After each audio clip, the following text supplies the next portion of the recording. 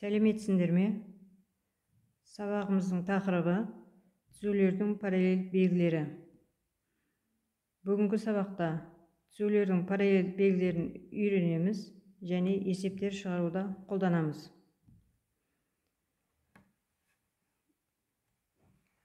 А түзуі в және с түзулерімен қиылысатын болсын.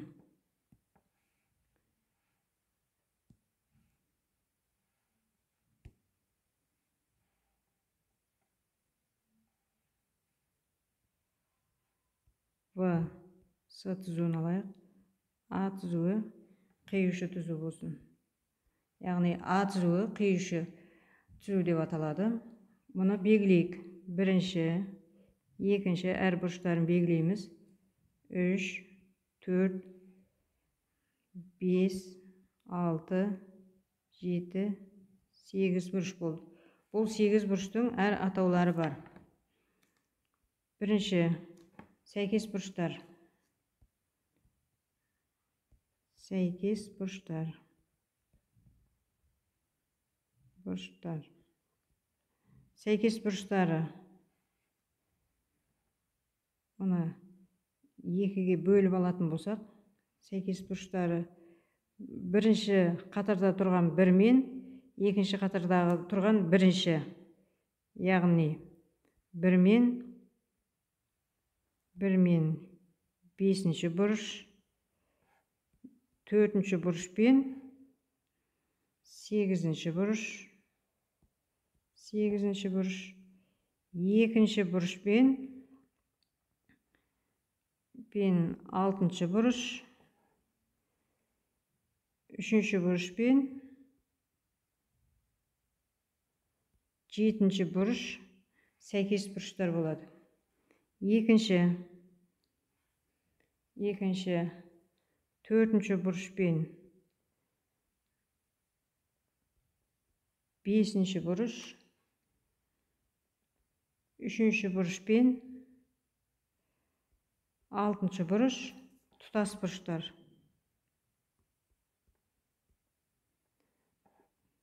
Тұтас.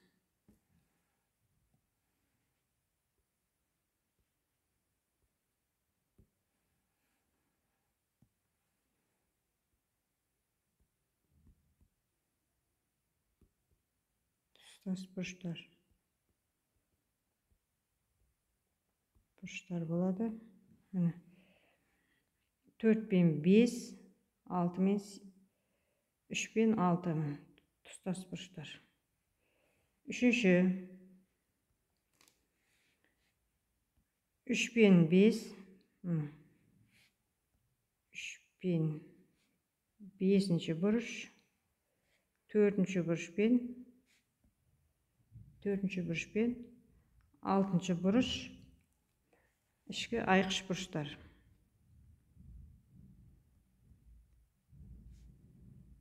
Айқыш бұрыштар болады.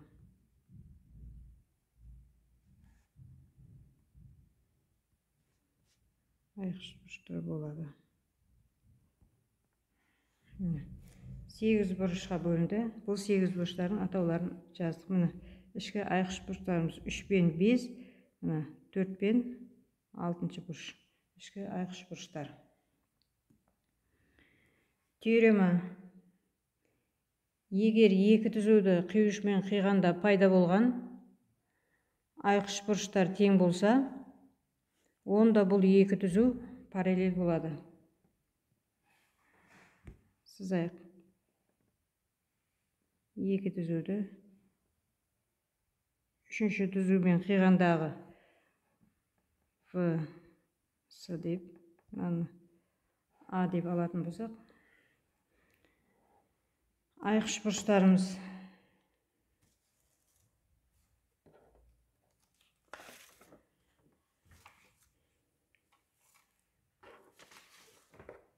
Мына жерде айқыш бұрыштарымыз үш пен бес. бір екі үш төрт бес алты жеті сегіз деп алатын болсақ айқыш бұрыштарымыз үш пен бес міне үш пен бес яғни үшінші бұрыш пен бесінші бұрыш тең болатын болса в мен с параллель болады дейді осыны дәлелдейік ол үшін мына жерде мына қиюшы түзуіміздің ортасынан перпендикуляр жүргізіп алайық о түзуге және с түзуге перпендикуляр түзу жүргіземіз. О қиылысуы болады. Мына жерде а а бір деп белгілеп алайық. Мына жерімізді в мынаны в бір деп белгілеп алайық сонымен мына жерде а в мен а бір б бір тең болып тұр а бір б бір тең болып тұр мына жерде енді а о мен а о мен а бір о тең болып тұр яғни бұл вертикаль бұрыштар болып тұр. Мына жер 90 градусқа тең болып тұр. Сондықтан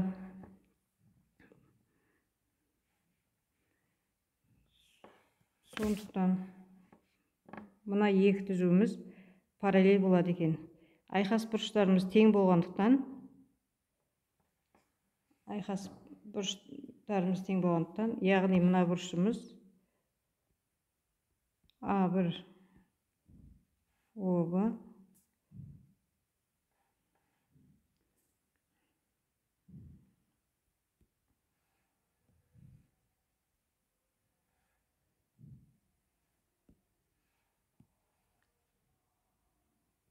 а о б мен а о б мен а бір о б бір бұрыштары тең.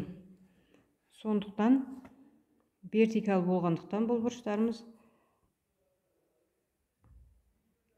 а бір а екі перпендикуляр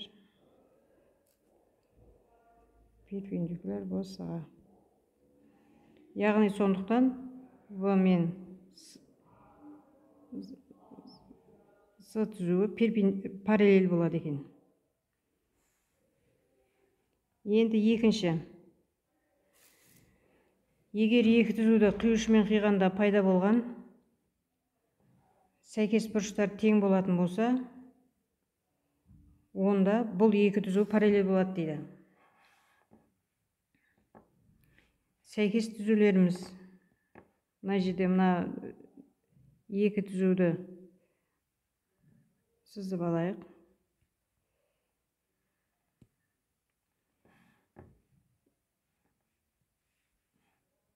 Екі түзуіміз қиюшымен қиғандағы пайда болған. Бұны да белгілеп алайық. Бір екі.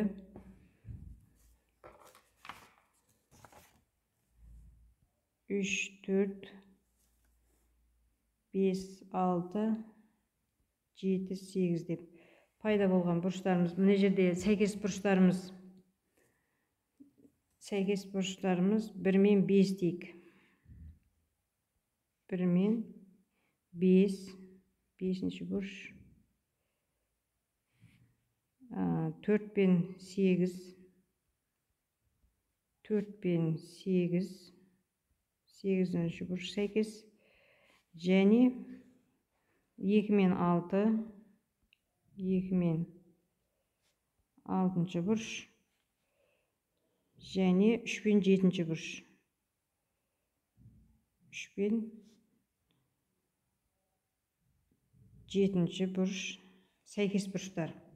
Сәйкес бұрыштар тең болатын болса қиюшымен қиғанда онда бұл екі түзу параллель болады дейді. Сәйкес бұрыштарымыз мынау. Бұл жерде бір мен бес төрт пен сегіз яғни мынаны алайық. Бірінші бұрышпен бірінші бұрышпен екінші бұрыштың қосындысы 180 градус. Сыбайлас бұрыштардың қосындысы 180 градус болады. Мына жерде 5 пен алтыншы бұрыштың қосындысы 180 градус. Бұл да сыбайлас бұрыштар. Бір мен үш бірінші бұрыш пен үшінші бұрыш вертикал бұрыштар. Яғни бұл вертикал бұрыштар жаңа бірінші теоремада дәлелдедік. Бір мен үшінші бұрыш тең вертикал болғандықтан үш пен бесінші бұрыш сонымен сәйкес бұрыштар мына жерде айқыш бұрыштар үш пен бес айқас бұрыштар айқас бұрыштар сондықтан мына жерде мынауымызды в деп белгілесек мынауымыз с мынауымыз а болатын болса в параллель с-ға егер екі түзу қиылышымен қиғанда пайда болған сәйкес бұрыштар тең болса онда бұл екі түзу параллель болады сәйкес бұрыштарымыз тең болып тұр бір мен бесінші бұрыш бірінші бұрыш пен бесінші бұрышымыз тең. Бұл жағдайда біреуін ғана қарастырсақ жеткілікті. Бірінші жағдайда қарастырған айқыш бұрыштарымыз тең болғандықтан олар вертикал болды. Мына сыбайлас бұрыштарымыз қосындысы 180 градусқа тең болды. 5 пен 6-ның қосындысы 180 градус. Сондықтан бірінші бұрыш пен бесінші бұрыш сәйкес бұрыштар тең болды. Яғни тең болғандықтан б мен с түзуі бір біріне параллель болады екен. Үшінші ішкі тұтас бұрыштардың қосындысы 180 градусқа тең болса онда бұл екі түзу параллель болады. Егер екі түзуді қиюшымен қиғанда осы немізді ала берейік. Осы суретімізді қайтадан сызып яғни ішкі тұстас бұрыштары қосындысы ішкі тұстас бұрыштарын деп отырғанымыз мынау. Төрт пен бес алты мен сегіз. Ішкі тұстас бұрыштары. Қосындысы жүз сексен градус дейді. Мына жерде ішкі тұстас бұрыштарын жазайық. Үшінші. Үшінші. Ішкі тұтас бұрыштары төрт пен бестің қосындысы 180 болатын болса және үш пен алтының қосындысы 180 градусқа тең болатын болса б параллель с түзуіне болады дейді. Егер үшінші түзумен қиғандағы пайда болған айқыш бұрыштарын енді мына жерде төрт пен алты айқас бұрыштар мына жерде төрт пен алты айқас бұрыштар болғандықтан тең болып тұр айқас. Оны бірінші теоремада дәлелдегенбіз. Яғни бес пен алтының қосындысы бесінші бұрыш пен алтыншы бұрыштың қосындысы 180 градусқа тең болып тұр. 180 градусқа тең болып тұр. Сондықтан ішкі тұтас бұрыштары 4 пен 5 төртінші бұрыш пен бесінші бұрыштың қосындысы 180 градусқа тең болады екен. Сонда сонда в түзуі с түзуіне параллель. Міне түзулердің параллель белгілерін дәлелдедік.